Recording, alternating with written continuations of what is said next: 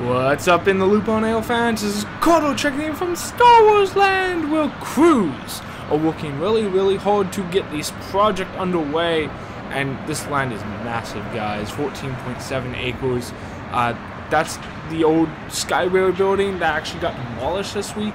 But um, you can just grasp how big this project is uh, just by the amount of dirt there is. They actually have a road, a service road, going from in the middle of the land, which you can see that's that green fence. Anyway, this is the backside of Tom Sawyer's Island, which is pretty cool because uh, this is all just the backside of Tom Sawyer's Island, the trench, and uh, that's the trees in the potted plants. That's uh, the barricade. Anyway, this is a shot coming from Haunted Mansion to Splash Mountain, and you just see the parking lot and construction crews working on uh, Star Wars Land.